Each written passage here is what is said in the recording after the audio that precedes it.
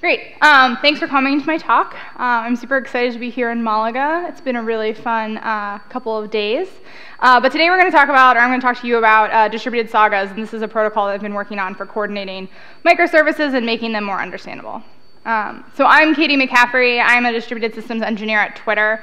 Uh, this is where you can find me on the internet. Um, I'm at Caitie. It's pretty simple. Uh, also, if you have questions or want to reach out to me after the talk, my DMs are open. It's actually an easier way to get in touch with me than email, so just use that. Um, so yeah, let's get started. Okay. Um, so basically, once upon a time, we used to construct these monolithic applications, and they ran um, at scales that could safely fit inside a single relational database. And this was actually really nice from sort of an abstraction point of view, because all of the complex logic about consistencies, um, and uh, uh, different consistency models and like concurrency control was sort of all handled by this single database, and it like was our nice abstraction that dealt with all the difficult stuff. Um, and you would just like horizontally scale out your application, and that was really nice. Uh, but then we're, we're now in a time where we can no longer fit on a single database, and the availability of a single database is no longer sufficient um, for our customers and for our applications. And so, you know, in the mid 2000s, we start seeing this rise uh, of, of, microservices and NoSQL, and basically what we what is the uh, driving force behind these uh, these patterns and the NoSQL databases is basically we want availability and we want to be able to scale beyond a single machine. Um, and so these are really nice things because with microservice architectures, um, we get a lot of benefits. Like you can have different teams independently de uh, develop and deploy services um, at faster iteration speeds. They own their own deployment and things like that, so we can be more agile. Um, and then with these NoSQL databases, we basically uh, have to denormalize all of our data in our different services, um, but we get higher availability but weaker consistency models. Um, and so basically what happens here is we've traded off of a lot of the strong consistency and a lot of that abstraction of like this one piece of our system being like our single single relational database owning all the consistency guarantees and sort of smeared it across this whole architecture. And so there's kind of a term for this, and Peter Bailis wrote a paper about it called feral concurrency control. Um, and this is a really great paper. I like it because it's academia looking at what industry is actually doing and trying to um, offer some solutions or like get some insights. And, and, he looks at the Ruby on Rails community and that sort of workstation, but I think it's broadly applicable to how we develop software today. So what he defines feral concurrency control basically as application level mechanisms for maintaining database integrity. So this is basically saying, hey, we used to live in this nice relational database model that dealt with everything, um, but now we have to actually write code to make sure the semantics and invariants of our applications hold throughout the, uh, the lifetime of the system. Um, and I just think this is a really cool term. Like I laughed really hard when I first read this paper. Some people got mad, but I thought it accurately described what I do day to day as a developer.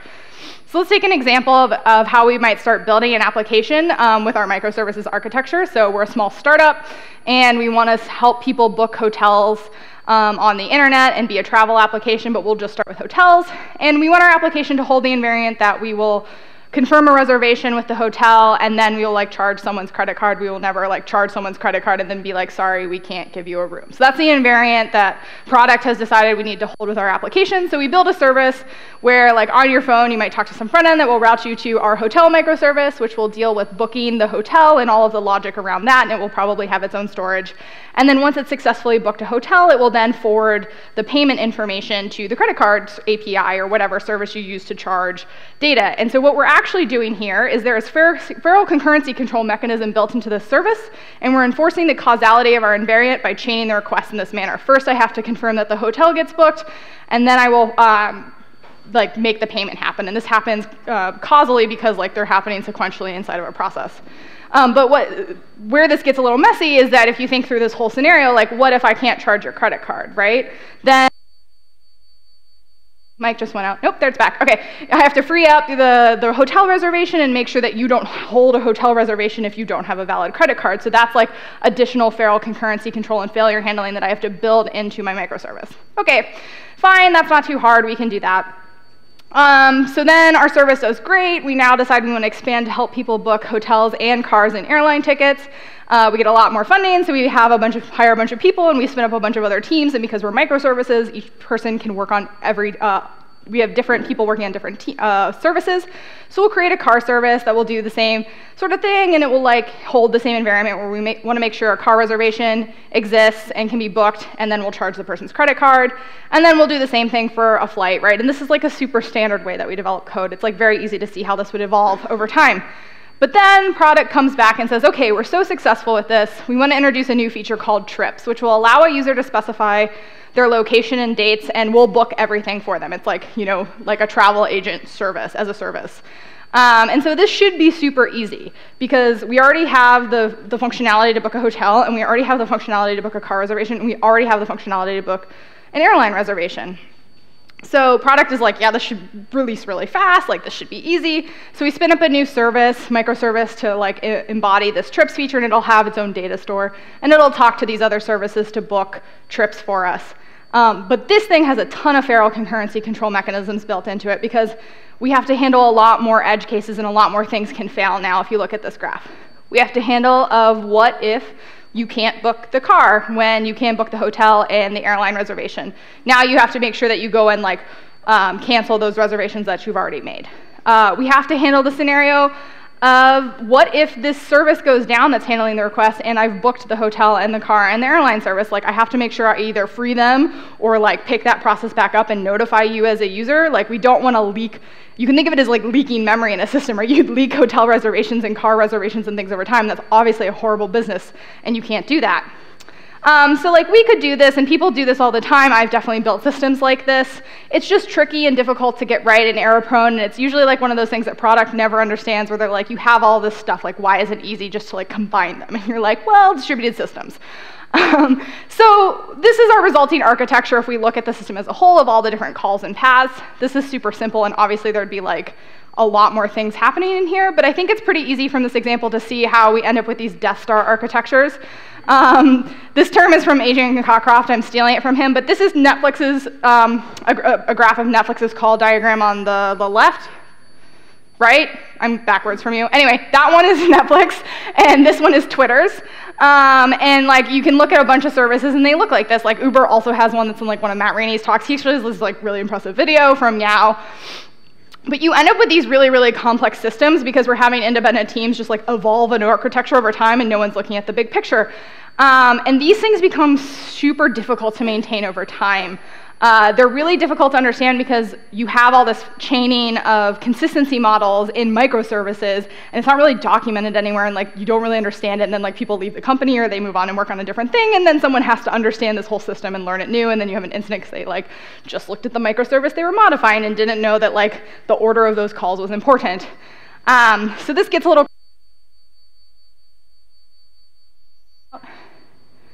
I don't know if this is coming back this time. Okay. Yep. Back? Okay. Um, okay, so this is kind of nuts, and, and, and what I like to think about is can we do better? Can we make it easier to build these distributed applications? Like, what are we missing? Because microservices are nice, and I fundamentally believe that that's like a good way to build systems and scale teams and things like that. But like, how, can we do better than feral concurrency control? How can we make it less difficult to build and maintain applications over time? So what about Spanner, right? Spanner is Google's globally distributed database. They actually just released it, I think like totally GA yesterday. I think I saw Eric Brewer tweet about it, but it's, in, it's been in beta since earlier this year. Um, and they wrote a paper on it in 2012. But basically, Spanner is Google's scalable, multi-version, globally distributed, and synchronously replicated database. So they're basically providing ACID levels, um, SQL Server-like transactions uh, in a database that is globally distributed, so you have uh, replications all across the world. Uh, the way they provide this, and if you've heard of the CAP theorem, people sort of joke that it's like beats CAP. It doesn't. It's just like, it's still an, uh, uh, a CP system, which means you give up availability, but they have five nines of availability. And the way they do that is via the TrueTime API, a massive amount of hardware fiber between data centers and GPS and atomic and clocks installed on every individual machine. So that's a lot. Um, but uh, and it is cool, but and, and Google really swears by this, and they say the reason they built this and invested so much in money in this is because it's just easier to think about and have people program. But then you have this other take where Facebook's like, eh, nope, like we're not going to do that because, and they wrote a whole paper on it in 2015 about why they haven't adopted strong consistency models at scale. Um, and they, it, this, this, is a seven-page paper. It's interesting to read, I think, as a technical report, but basically it comes down to the biggest barrier is that consistency mechanisms must integrate across many stateful services. So if you think about our microservice architectures, we've denormalized state across everywhere, right? Because like it's not in one single place. Uh, and you know, we might optimize uh, one data layout so that this query is really fast, and we might have it optimized a different way so that a different query is really fast. And that's like not a thing we can get around. And so Facebook argues in this paper, and I actually take this belief, uh, is that really strong consistency systems are not, not the end all be all. You need it in some cases, and if you saw like Christopher Meiklejohn's talk, you talk about that a lot, um, but you don't always need it, and I think we over optimize for it. Um, and basically, also Facebook goes and makes the argument that basically users will tolerate inconsistencies over high latency. Eh, I mean, I think it depends on like what you're working on, but like fine, say that. Um, so it's also worth noting that this, this protocol that you would have to have defined between all the systems to do distributed transactions uh, across many stateful services exists in the world. It's called two-phase commit. Uh, this is an atomic commit protocol. This was made a long, long time ago. Actually, I had trouble finding the original paper because it's really just that fundamentally part of uh, distributed systems in computer science. Um, but basically what you do, if you go back to our example, it's aptly named because it has two phases. You have a prepare phase in a distributed system where uh, the, you'll have a coordinator. So in this example, our trip service is our coordinator.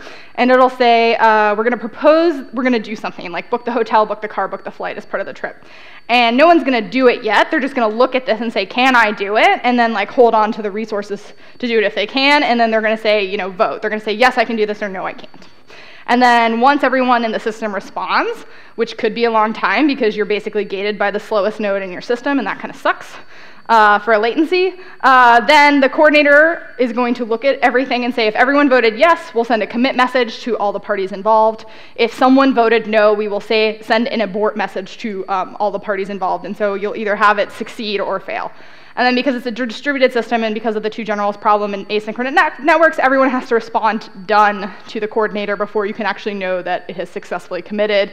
And now everything's like atomically visible or it like never happened.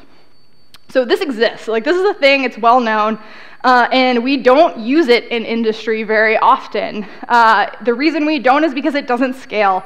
There are n squared messages in the worst case, um, the coordinator is a single point of failure. If that single machine goes down at any single time in that process, the whole thing is sort of like goes haywire. Um, and then you have reduced throughput because essentially you're gated by the slowest node in your cluster or involved in the transaction. And then you're also um, sort of like people, they're holding locks on things, and that's like never really fast essentially. Uh, oh, I think it's also worth noting with two-phase commit, like if this was scalable, like we would see the cloud vendors providing it. Azure actually has a blog post, so Microsoft Cloud has a blog post specifically stating that they don't for scale and liveness reasons. Um, and none of the major RPC frameworks like gRPC and Finagle implement this because it doesn't scale, it has problems. Um, okay. So instead, I want to tell you guys today about a protocol I've been working on. Um, it's called distributed sagas. Uh, I started kicking around this idea um, in, in the Halo days. I used to work on Halo um, the Xbox game, and we built the Halo Statistics Service, and we, we were looking for something, and we started playing with this idea. Um, I've been using it currently and building it out at Twitter to help us do distributed build infrastructure. Um, and then uh, I've been chatting with Uber as well. Um, I started talking with them in the middle of last year about distributed sagas and some of the problems they were having maintaining their microservices and explained this protocol to them. Um, and Matt Ranney, one of their architects, has a really has a talk at YAO where he talks about how they actually are implementing this so that they can uh, make their microservices more reasonable um, and manageable and maintainable in the future. So let's talk about this. Sagas, um, this is distributed sagas are inspired by this paper in 1987 called Sagas. Um, and so sagas are long-lived transactions um, in a single relational database. So this is not a distributed systems paper, this is a straight-up database paper. Um, and so the problem they're trying to solve here is they would notice that there would be these bottlenecks when you would have um, uh, a long running transaction, like something that was doing financial aggregation over uh, a database for like a quarter or something. Um, and maybe you didn't need um, these locks to be held, or a lot of times back in the day, like you would have to have a user actually input things to make progress in the transaction, so you're gated by a human being, which was pretty slow. And so they were trying to find a protocol to say, like, can we provide some guarantees, but not maybe ACID guarantees that improve, um, improve availability and latency and things like that. So they come up with this pattern called a saga, which is a long-lived transaction that can be written as a sequence of transactions that can be interleaved. So essentially, they're breaking a big transaction that touches many tables into a bunch of little independent ones. Uh, and then they also define, um, so basically at the end of this, uh, you basically have a sequence of all transactions in the sequence either complete successfully or compensating transactions are ran to amend a partial execution. Um, and they do the typical like uh, thing at the, at the time in the 80s when it was not fully understand how difficult some of the challenges with distributed systems were. They're like, clearly this could be distributed. Like that algorithm cannot. Um, so, so I've been playing around with this, and um, we're going to go through it today because I actually find it incredibly useful. So what is a distributed saga? It's a collection of requests. So like in our travel application, it's either book hotel, book car, book flight, or charge money and compensating requests. So it's sort of like the undo requests. Cancel car, cancel hotel, cancel flight, refund money.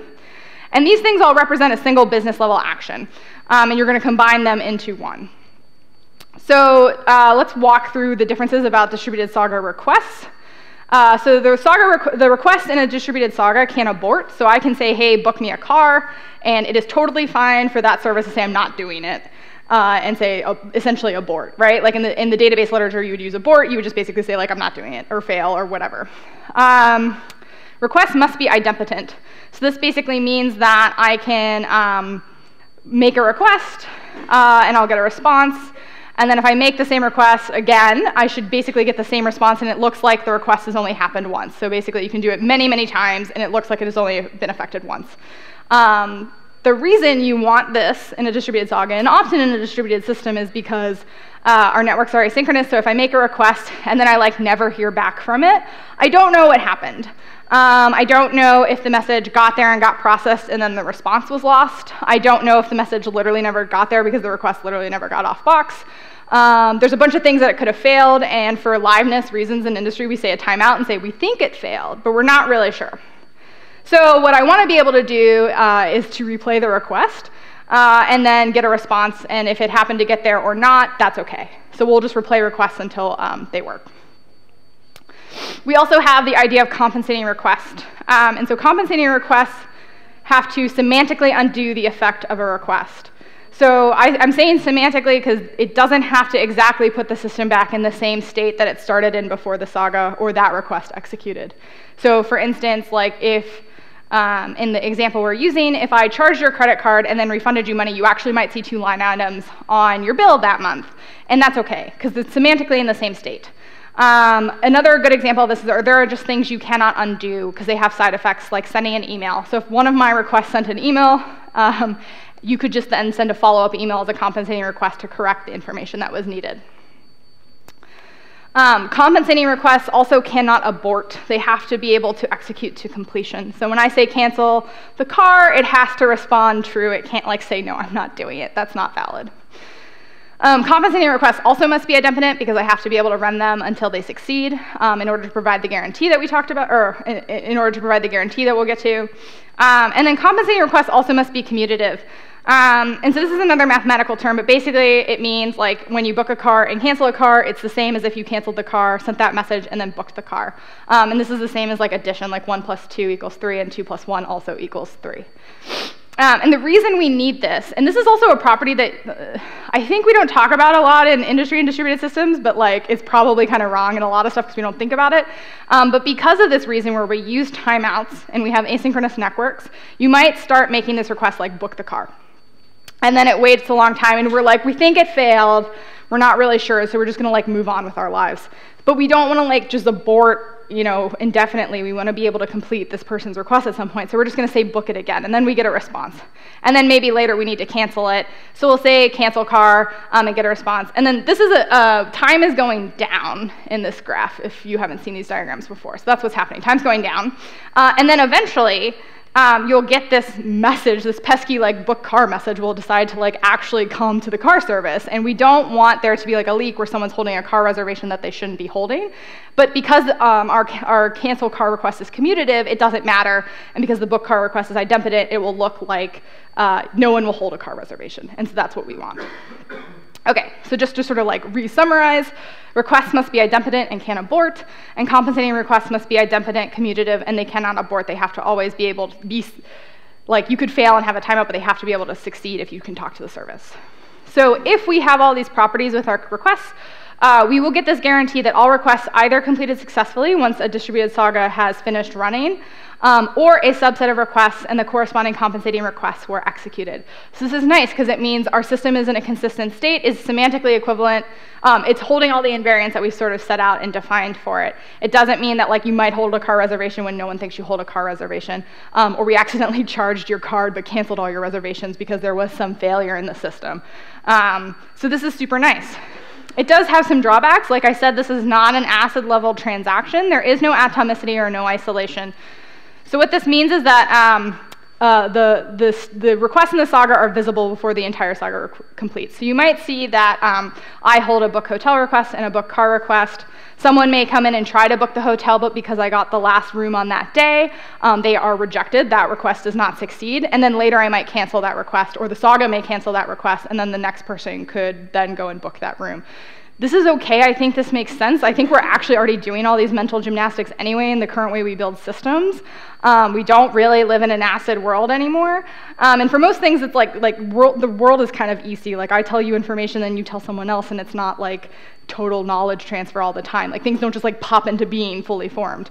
Um, so this is like important to know because like if you're talking about finances and things like that, you have to understand that they don't like all commit at the exact same time and no one sees intermediary things. But for a lot of the stuff we do day to day, this is totally fine. Okay, and so this guarantee may appear weak at first because we're not having like ACID level transactions. I'm not going to give you a guarantee like Spanner does. But instead of having, but what it, I think it's incredibly powerful, but because instead of having to hand code a bunch of custom feral concurrency control logics and handle all the edge cases in every service that you're talking to, we can simply focus on what we want our applications to do once we have this in place. Um, and so you're really sort of uh, allowing people to focus on like the application they're building instead of all the edge cases and failure modes and fault domains that could happen. So how do we go and define a distributed saga? A distributed saga can be defined as an directed acyclic graph. Uh, and so this is super nice and one of the things that I've been working on adding and extending.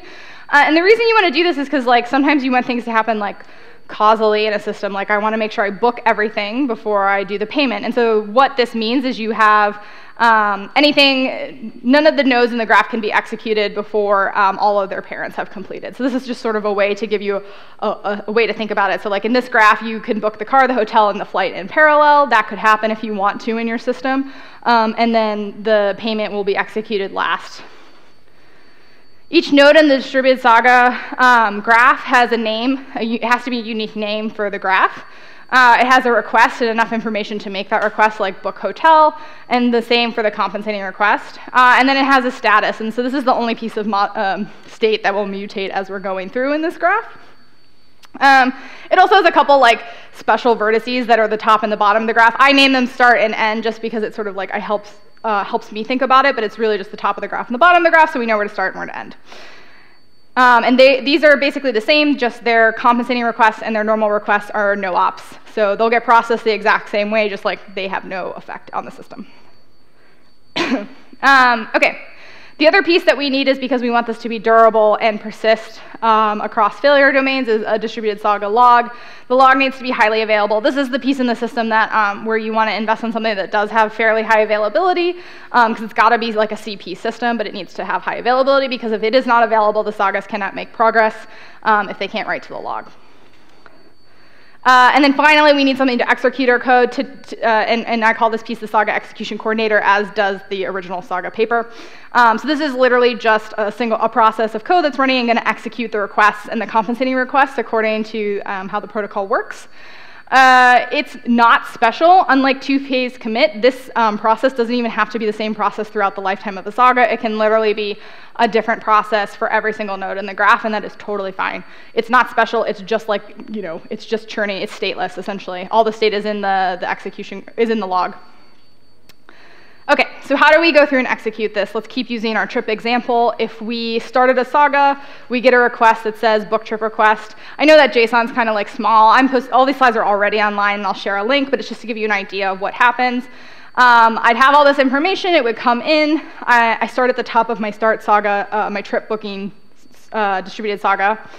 And I'm going to then log a start saga message to the log. And this has to happen before anything else can happen. And I'm going to store all of the data associated with the request that I might need to execute any um, future requests. Typically, when you implement this, you just store everything because then you can just like read it back later and it's great. Um, once that successfully is durably stored, it'll acknowledge it and then I can mark the start saga node in my graph as complete and we'll go on. Um, just for clarity, I'm marking all the stuff in pink on the slides that are like pertaining to that node, and then they'll like change as we go on um, to make, help you follow along. So now we can execute any node in the graph that's parent is complete. So that means the car node, the hotel node, or the flight node. Um, these could actually all run in parallel too, that's totally fine. Uh, so we'll log the start hotel message to the Saga log. This has to happen before we can do anything else, and we need to get an ACK that, that has been durably persisted. We can then make the book hotel request. I'm just using information that came from the original request to do so. This is totally fine. Uh, I will get a response that says, yep, I booked your request, and then I will log an end hotel message to the log and the information from that request that came back. Uh, I'll do the same thing for the car node. This can now be processed. I'll write a start car message to the log. Once that completes, I'll send the book car request message to the car service. Uh, it will complete, give me a response. I'll then log that in the end car message in the log, and then mark that node as complete. The flight can now be, is the only node in the graph that can now be worked on, so I'll say start flight, and then I'll book the request once that is successfully stored. Uh, once I get a response, I'll log the end flight message uh, with the data, and now we can mark that node as complete. And finally, we can do our payment node. Um, so I'll send the payment request, it will respond, we'll log all the data to the log, that node is now complete, and now we're at the end saga node, which is a no-op, so it just completes. Um, usually, you don't even have to really write this message, you can construct it, you have enough information in the log without it to construct it, but it is usually for performance reasons that I log it, because then you can just query and say, like, is end saga there, instead of reconstructing the whole graph. Um, and now we're done. And our guarantee holds that all the requests in the graph executed successfully.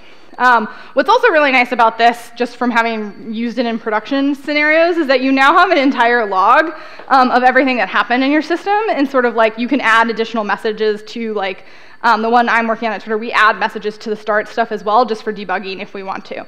Um, so then you can go and like easily see what happened with this, which is nice for like anyone trying to figure out what went wrong, or like even customer service agents, or like you could easily make a roll-up email of everything. You have it, it's there, it's great.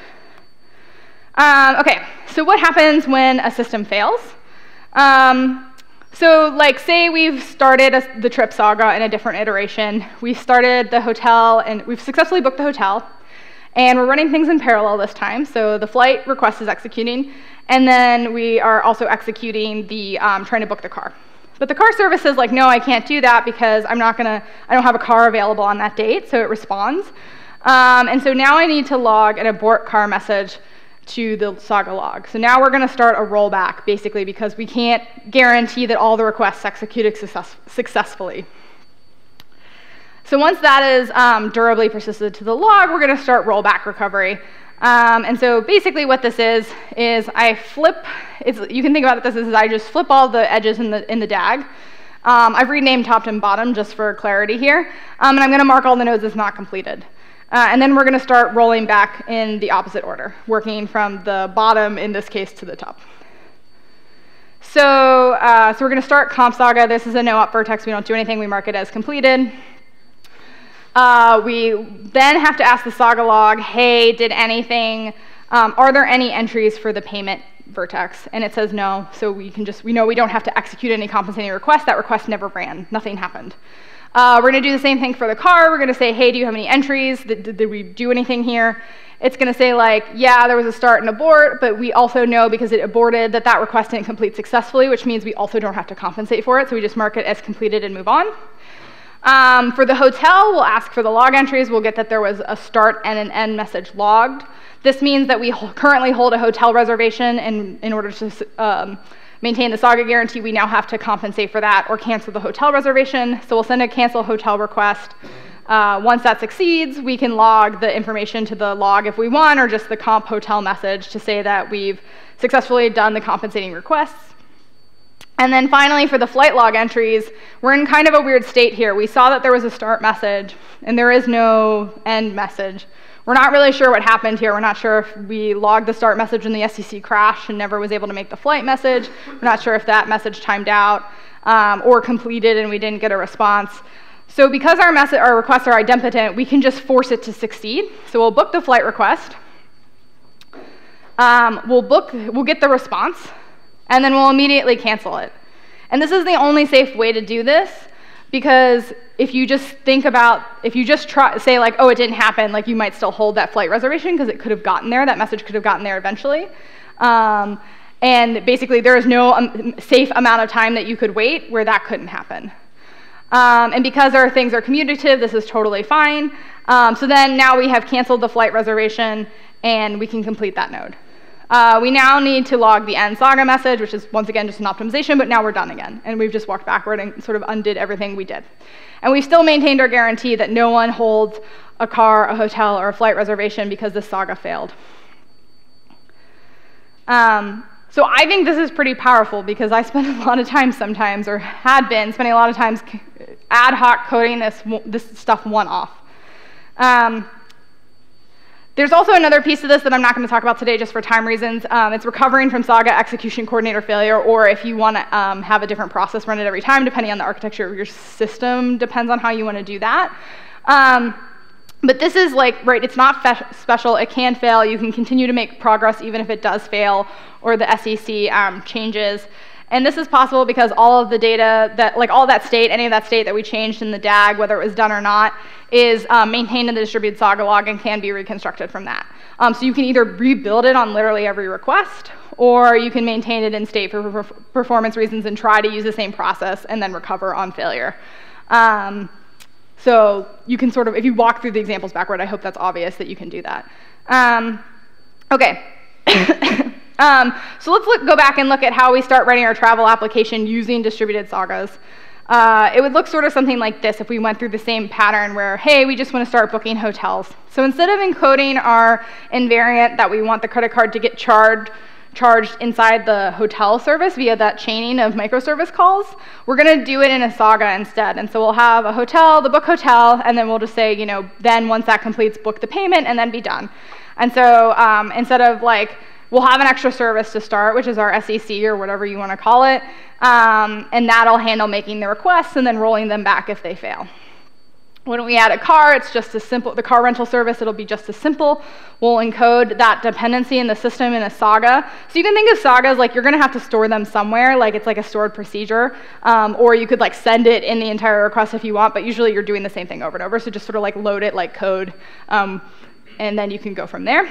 Um, and so then you just literally, you have another team spin up a microservice car service, or a microservice that does car rental, and then, um, and then you encode the information in the Saga, and now we don't have, like, uh, we still can just reuse that payment API, because we know it already works. And the same thing for flights, right? We just have to add the new service, and then we add a Saga, which should be pretty easy. And then finally, the real power comes now when we have our set of microservices to work with. Adding the trips feature is super easy. We don't actually have to write any new code. We simply define a new kind of distributed saga called like our trip saga, and we add an extra API to our front end.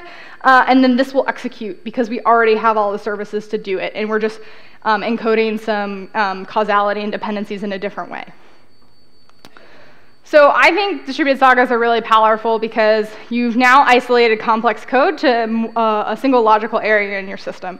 Um, and this thing is not a single point of failure, I think is the other really important thing, like a database, where if it went down, then like you can't do anything. This thing, you just spin up new, another machine and then you just keep going.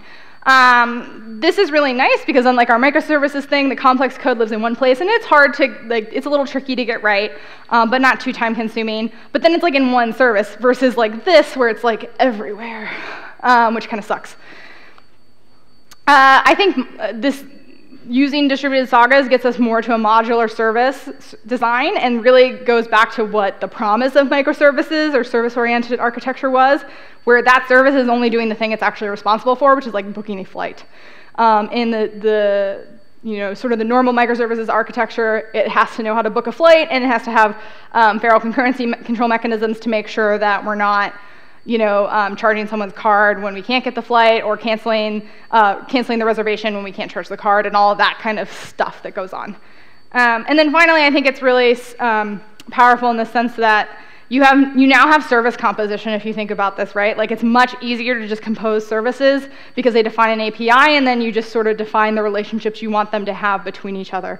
Versus this you would probably have to add a new service and some new feral concurrency control mechanisms to get them to behave the way that you want them to so I hope I've convinced you that distributed sagas make building and modifying microservices easier. I would also argue they make building and modifying like any actor-based models easier. You can use this, easily extend this to use it there. Um, and then also I really fundamentally think that with serverless, this is a much better pattern to go with because serverless, like you still have these cases where like writing to your database could fail, whether it's like Azure Functions or like uh, Lambda, I think in AWS.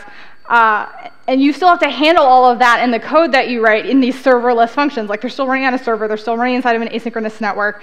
Um, if we just do this, then instead it's much easier to like have building blocks and combine them and just have some generic protocol that deals with this for us. So thank you. Um, this is me on the internet, and I'll take questions now.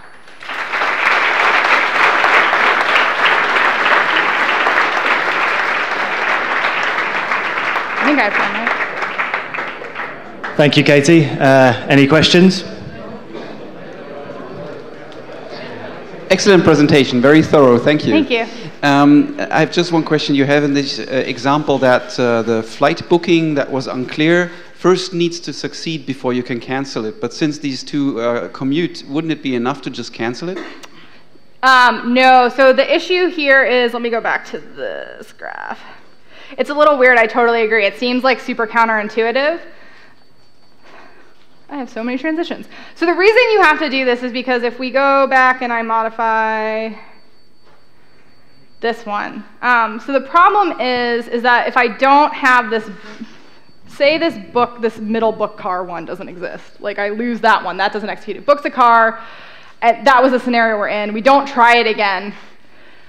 If I just run cancel car and that message never gets there, like there is a property that you could define, but it doesn't have like a really good math term that I've worked on. Like the other iteration of this talk that I've done in the first version, I basically just say, oh, you just run the compensating request, and if like like can't, then the assumption there is that canceling the car um, you A, can't use any of the information from the booking request to cancel, so you have to be able to somehow like magically just tell it to cancel something that you don't have a reservation for, which is pretty difficult when you think about it logically, um, and like how you would actually encode this. Um, and then also if you send cancel car and book car never gets this, it also has to basically be the identity function on the server, which is also kind of weird, and I don't know many examples of that.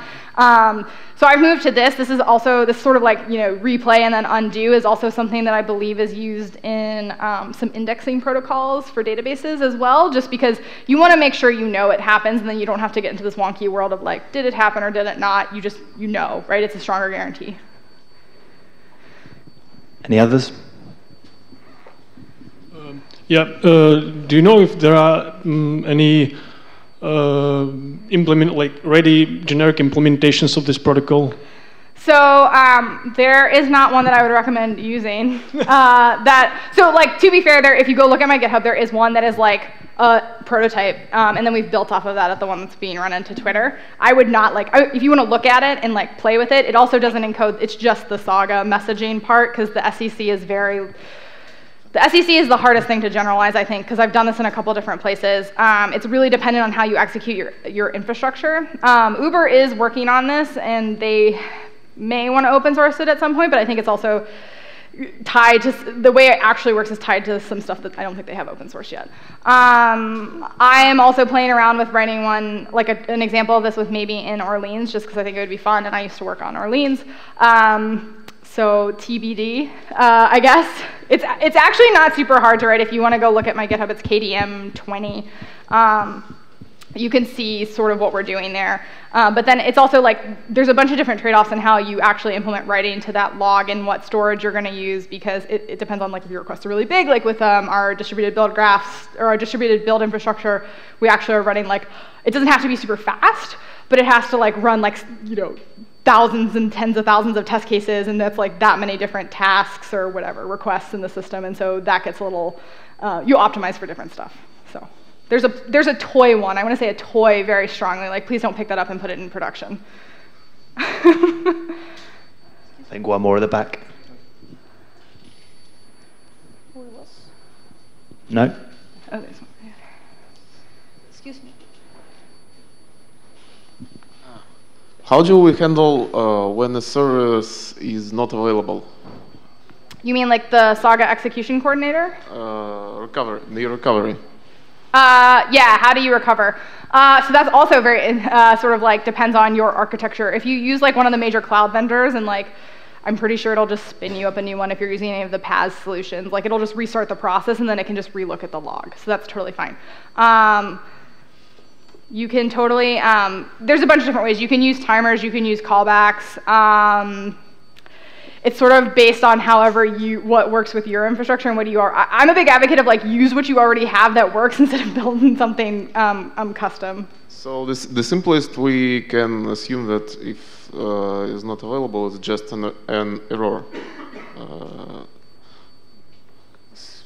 so the simplest way is to just have another service like Heartbeat it, like, and you probably already have this if you're using any kind of monitoring or logging, right? So like the the the really simple, like I have no automation in my system, is like you might have Nagios like literally ping it every five seconds, and then if it dies, you can have someone manually go restart it. Most people have something that like does something more sophisticated than that, and then will like automatically reboot the machine.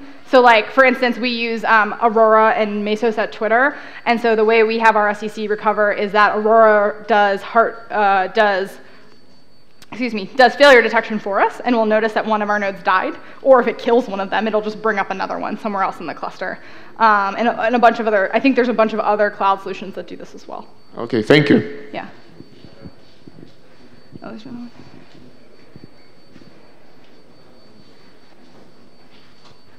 So uh, related to the same the same question, uh, what happens if the SEC uh, fails?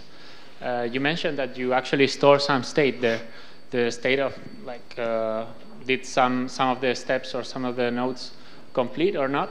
So if you have to re restart that somehow, uh, what do you do? Like you undo the whole transaction just in case, or no, but be, so you don't have to undo the transaction when the SEC fails. Um, so because the like this graph, you may use a graph in your in your um, code as like an optimization, like to persist that state, but you don't need to.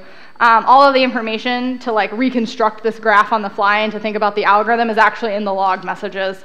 Um, and so you can basically, like, you can also just literally have the SEC, like read from the log uh, and then um, and then reconstruct all the states. So that's how you recover. Did that answer your question? Yes. Okay. Uh, and what if uh, we don't want to allow a user to see intermediate results? Does it mean that this protocol is not applicable for this use case? Yes. So this is very much uh, you I don't provide any atomic guarantees at all. Um, and most things don't, honestly. The only really thing at a distributed level out there is Spanner. Um, you can use two-phase commit at low scale, like some people do it. It works okay. Um, but I would not recommend using that in any critical or hot path. Um, I would also argue that, like, our desire to use acid is sort of just a desire to make our lives easier to think about when we don't we're a we don't have it today like and so people have figured out how to get around it and build really complex applications without using it a ton because that's how microservices work. Like no one has ACID. Um, and so you might need it for things like in Twitter, we use strong consistency for like giving you a username because that would be really bad if we gave you a username and we're like, sorry, like you can't have this username. So there are things this doesn't work for, but for a lot of stuff where you're just literally trying to think about, I want this thing to happen, and then this thing to happen, and then this thing to happen, uh, it actually works very well and gets some of the, the, the crazy logic out of the code. Thank you. Thanks. Cool. Thank you. Are we out of time? Uh, we've got five more minutes. Okay. One more question. I didn't know if you were giving me the like we're done look. okay, uh, first of all, thanks for this presentation. It was very nice. Thanks. And the weakness point is still this co coordinator. So how to provide cover failover or something like this? Yeah. So it is. It is still I guess what I should really draw this as is that it's not really a single point of failure because literally any process in the system can do it. It is stateless. You may be preserving some state as this is running as a performance optimization, but you don't have to. Um, and so, like, really, you are only gated by the time it takes to spin up another machine or like hot failover to another machine. Uh, and so this is basically like this works today. This is how like we provide high availability and NoSQL databases and distributed logs is we just like have multiple of them running or we allow them to recover, right? So Okay, thanks. I think that's it. Thank you, Awesome. Caitie. Thank you.